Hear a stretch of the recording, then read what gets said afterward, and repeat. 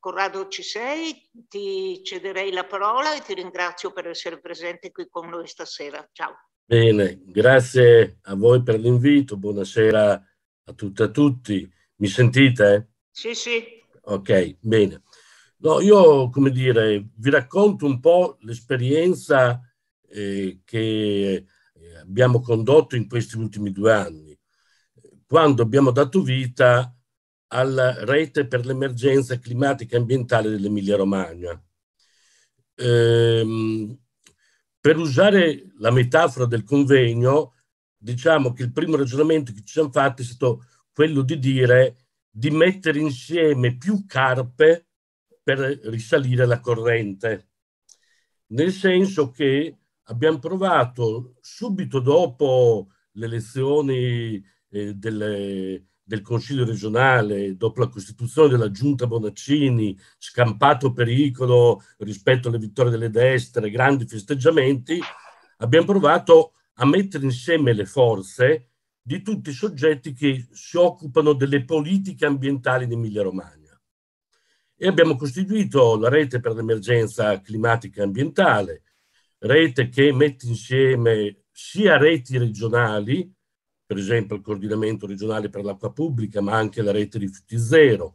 i Fridays for Future, Extinction Rebellion, sia molti comitati territoriali. Nel giro di qualche mese diciamo che abbiamo eh, raggruppato più di 80 tra reti e comitati territoriali che hanno dato vita appunto a questa esperienza, sostanzialmente ponendoci tre obiettivi. Appunto il primo di costruire una convergenza sulle, varie, sulle questioni di fondo che intervengono sulle politiche ambientali, dall'acqua all'energia, ai rifiuti, al consumo di suolo, alla mobilità e quant'altro. Secondo obiettivo, quello di riuscire a superare la frammentazione delle vertenze delle lotte. Ci sono moltissime lotte in tutti i territori, eh, in Emilia Romagna, ma io penso tutto il paese costellato di lotte e mobilitazioni, non so, da, dal contrasto agli inceneritori, alle lotte contro le grandi opere. E però tutte queste, a parte alcuni casi eclatanti, soffrono di elementi di frammentazione e alla fin fine anche di isolamento. E ci siamo detti, vogliamo provare a costruire le connessioni appunto tra le vertenze territoriali. Terzo elemento su cui abbiamo ragionato è quello eh, di far emergere il fatto che le scelte regressive che si fanno sull'acqua, eh, sull'energia, sulle, eh, in generale sulle politiche ambientali, sono figlie di un modello produttivo e sociale ben preciso. Un figlio di un modello produttivo e sociale che sostanzialmente continua a mettere eh, la crescita quantitativa del PIL come elemento fondamentale e da cui fa discendere eh, in qualche modo appunto l'idea di modello sociale produttivo e quindi in qualche modo riuscire eh, a far emergere che occupandosi di queste questioni ci occupiamo dei beni comuni ma ci occupiamo anche dell'insieme del modello sociale produttivo e quindi in qualche modo con un'idea anche di alternative di cambiamento. Bene, diciamo, abbiamo costituito questa rete e alla fine del 2020, bontà sua, eh, siamo stati chiamati anche al confronto con la regione su quello che è stato sbandierato come uno degli elementi più significativi, eh, diciamo, della, eh, della nuova legislazione regionale, cioè il patto per il lavoro e il clima. Confronto di, durato diversi mesi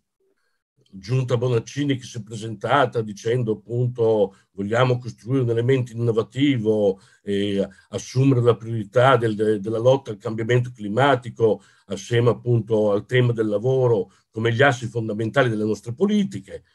chiamato tutti al confronto, sindacati, associazioni imprenditoriali, comuni, università, appunto reti ambientaliste, compresa eh, la, la nostra rete eh, appunto che sarà costituita da poco, compresa Lega Ambiente,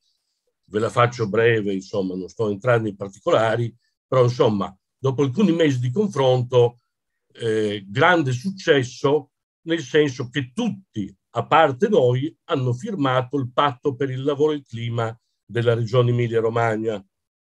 appunto sbandierato eh, come fatto assolutamente innovativo. Noi non abbiamo firmato per la ragione molto semplice, e cioè che a fronte, diciamo, di intendimenti che sulla carta potevano anche essere, come dire, come tutti i documenti anche positivi, e poi abbiamo continuato a riscontrare invece politiche che sono politiche sostanzialmente regressive. Sull'acqua si continua la privatizzazione, eh, in Emilia Romagna l'acqua è sostanzialmente gestita da due grandi multi-utility che sono Iren, che conoscete appunto anche in Piemonte, ERA. Non solo si continua con la privatizzazione, non più tardi di un anno fa, con la scusa del PNRR, cioè il fatto che bisognava dare continuità di gestione, con un tratto di penna la regione Emilia-Romagna, in un provvedimento che non c'entrava niente, ha prorogato tutti gli affidamenti del servizio idrico fino alla fine del 2027. Guarda caso, proprio alla vigilia del fatto che vi una scadenza a concessioni importanti. Per dirne una, a Bologna la concessione aerea sarebbe scaduta alla fine del 2021 ed eravamo già pronti a fare, come dire, ragionamenti e campagne importanti per la possibilità della pubblicizzazione. Oppure, appunto, mentre si diceva facciamo il grande patto per il, il lavoro e il clima, eh, come avete visto, si continua anche in Emilia Romagna, si dice anche che dovremmo esportare poi modelli in tutto il paese, si continua a puntare sulle fonti fossili.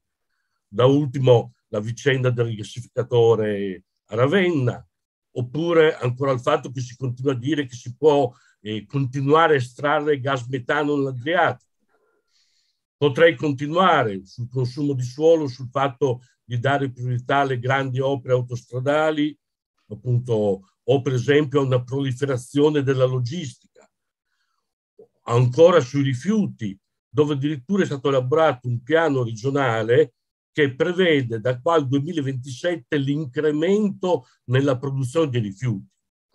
Insomma, eh, sulla base di, di, questi ragionamenti, di questa appunto contraddizione assolutamente eclatante tra, diciamo, enunciazioni di principio e politiche concrete, abbiamo appunto come rete per l'emergenza climatica e ambientale deciso di non firmare quel patto. Apro e chiudo parentesi.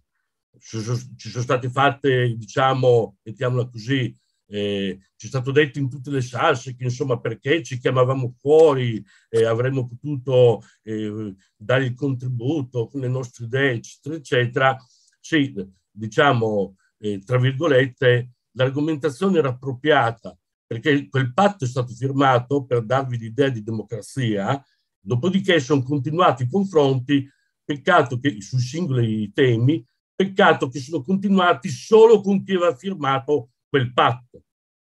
Noi non abbiamo più potuto confrontarci appunto sulle politiche ambientali della regione Emilia-Romagna.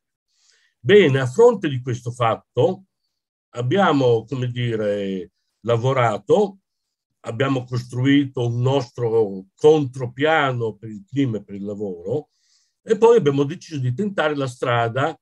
di costruire quattro proposte di legge di iniziativa popolare regionale